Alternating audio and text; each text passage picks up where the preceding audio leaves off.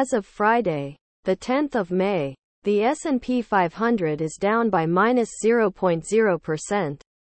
The iShares S&P 500 ETF, ASX, IVV, has done well this year.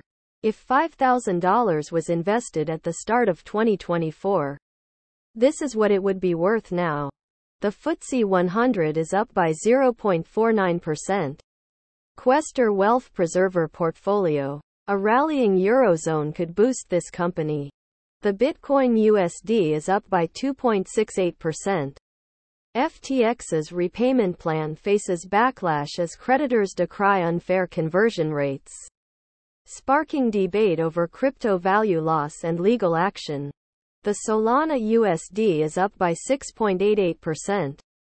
Today's decline in Sol's price coincides with FTX expressing confidence in fully compensating bankruptcy victims. Alongside a drop in Solana TVL and A.